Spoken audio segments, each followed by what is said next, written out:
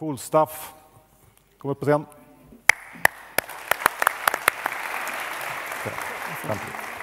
Ställ dig där så eh, publiken ser dig. Kan du, en lite rolig fråga så här, vad säljer ni mest av just nu? Ehm, Just nu är det mycket sommarprylar, så just nu är det ju uppblåsbara grejer, uppblåsbara poolfloats ehm, i eh, form av enhörningar och flamingos och liknande. Så det är sommarprylar helt enkelt. Mm. snackas ju mycket om eh, Amazon och Kina och, och sånt nu. Hur, hur ser den konkurrensen ut för er? Um, Ja, e-handeln förändras ju mycket. Det är ju då globaliseringen med Kina-handel och Amazon och marknadsplatser. Det påverkar ju oss och det påverkar ju all handel såklart.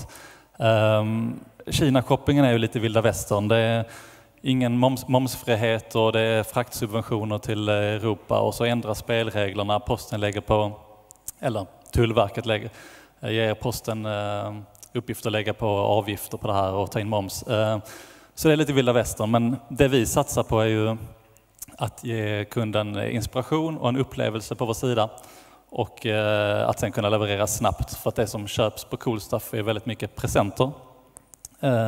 Så att våra kunder efterfrågar ju väldigt snabba leveranser.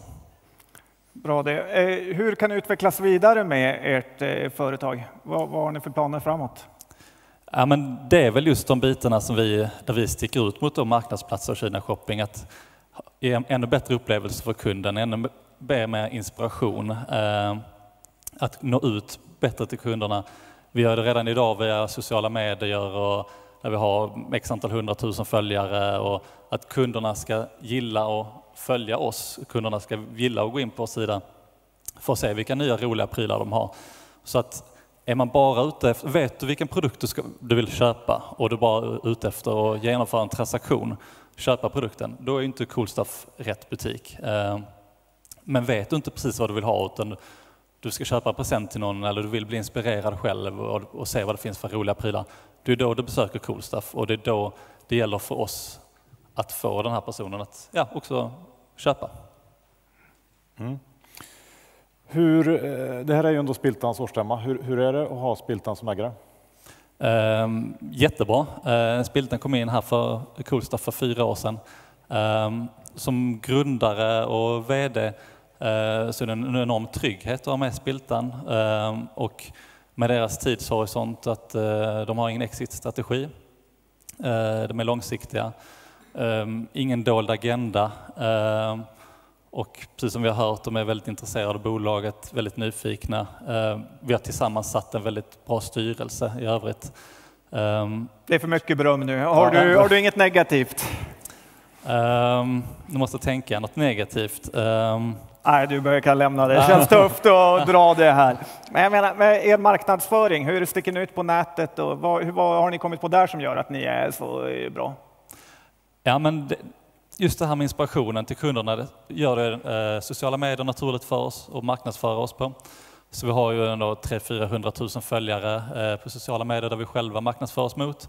Och sen är det väldigt mycket betald annonsering. Eh, så det är ju det, det, är det ja, sen annonserar vi som alla företag på nätet, mycket Google eh, och liknande. Eh, men sociala medier är där vi drar in mest besökare. För tittar man i, i er eh, sektor så, så har ju till exempel Teknikmagasinet haft det väldigt tufft. Hu- Hur, eller vad gör ni för att inte hamna i, där de har hamnat?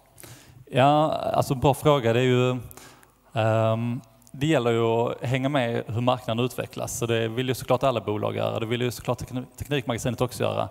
Men det gäller ju att ha liksom en organisation och en eh, mindset att hela tiden liksom ligga på där och vara med och förändras i takt med marknaden och helst ligga lite steget före och se var marknaden är på väg. Ehm, Så det, vi tror vi har bra förutsättningar på, att göra det, men eh, Låter bra. Har vi någon fråga här i publiken och har ni en stark röst så behöver ni inte mikrofonen. Det, Just det, jag kan säga. Eh, Jag skapar precis en rabattkod här. Så att är det någon som vill köpa lite studentpresenter eller sommarprylar så eh, Spiltan 123 eh, ger 25 rabatt. Eh, så det är väldigt, väldigt exklusivt. jag tänker så här, det, är ju sådana här butiker överallt på, på nätet. Eh, finns det förvärv ni kan göra? Hur eh, ser den marknaden ut? Um, eh, det har inte varit vår strategi. Eh, vi har ju, Coolstuff har funnits i 14 år och vi har växt organiskt varje år och varje år förutom ett med lönsamhet. Så att, och vi har aldrig förvärvat så att nej, det är nog inte, det är inte vår huvudfokus. Eh, om man tittar på 2018, vad, vad är målet för i år? Vi, kommer, vi har redan börjat satsa på att sälja själva våra egna varumärken på Amazon, så det kommer vi fortsätta göra runt om i Europa i de marknaderna där de finns. Vi satsar mycket på egna varumärken. Våra varumärken står ju idag för ungefär, våra egna varumärken står för ungefär 20 procent av omsättningen, så det siktar vi på att öka. Öka unikiteten i våra egna varumärken för att sticka ut ännu mer. Mm. Bra. Ja, ska vi ta och eh, tacka Christian med en stor applåd?